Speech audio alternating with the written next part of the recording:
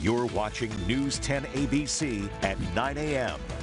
Welcome back, everybody. I'm joined now by Manoj Ajmera. Perfect. Thank you. And Elizabeth Dippo to talk about the weekend, uh, this weekend's Festival of Nations. Welcome to you both. Thank you. Thank you. Manoj, you've been with it, now, the festival itself, 50 full years. This is the 51st year. 51st year, 50 years we've been here. Right. And you've been you've been involved with it, you told me, from, from day one. Correct. The And first the past year I was- 37 as chair now. You got it. First year I was the dancer of the folk dance of the group. then I got president of the, my Indian association, so I represented. I loved it. Uh, the camaraderie with the people from different cultures, it's unbelievable. How many, and it, this happens at the Empire State Plaza, which is a, a really cool venue in and of itself. How many countries are represented? This year, because it's after the pandemic, Yeah. we had done it virtually only last Gotcha. two years. So we have 19 nations. We have had uh, as many as 26 at that times. See, over the years, we must have more than 40 countries. But Sure. then some people, you know, take hiatus or they don't have enough people for one reason or the other. But it's been very successful, and any non-profit ethnic group is welcome to join. They just have to apply for it. And we, and we celebrate everything from the food and the dancing and the music. Elizabeth, you were crowned Miss uh, Festival of Nations last year. Yeah. Um, what's the experience been like for you, and, and, and what are those judges looking for?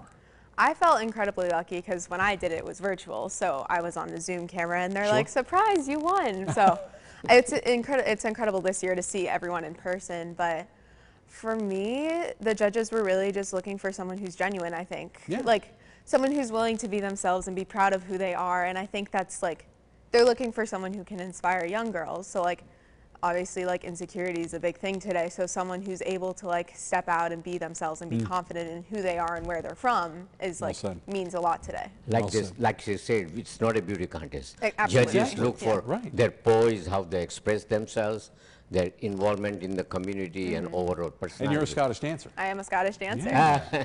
braemar highland dancers Awesome.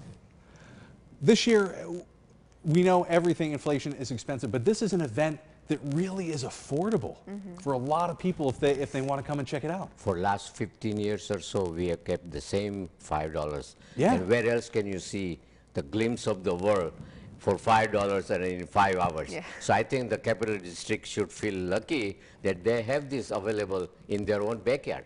So, so come and enjoy, and great education for children. Absolutely. you know, because they can really appreciate not their own culture, but also cultures of the other countries. And all, and all the music and the performers mm-hmm. as well, and, and they get to taste some food. absolutely Definitely, the, every best country part. will have their ethnic food. Mm-hmm. So most people, or many people, bring the empty containers so they can take some mm-hmm. samples. So you can't eat all the countries, you know, but they like to, so they take the cake food home. And I arranged to have giants who have a bye week. I'm kidding, of course. right? That- That'd be some great pull if you're I able to know, pull that off. and, then, and the Mets, Mets right? and Yankees Yeah. are out of playoffs, so that so it's very- well, Elizabeth, go- what, what would you have to say to, to, to kids who may be looking to, to represent their culture and want to get involved with the Festival of Nations? So I would say just like know who you are and where you came from. Because when I was asked to do Festival of Nations, it was through my dance school, and I was like, okay, great, I do Scottish dancing. But like wanting to be prepared, I looked into everything and like what the costumes represent, what the dances represent.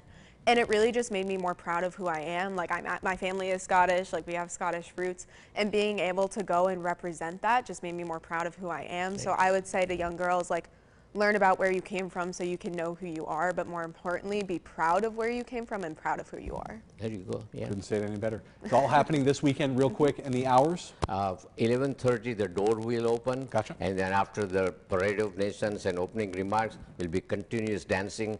And the featured item is the Miss Festival crowning. Awesome. And then food, of course, people should love it. So there's, there's plenty of parking, and it's inside. That's so right. don't worry about the weather. Don't work outside and enjoy the whole day with the family. Elizabeth, thank you very much. Emotion, we're going to have more with you coming up shortly. We're going to have some, uh, some food next door as well, talking about the cultural food that's going to be available this weekend, too. So stay with us.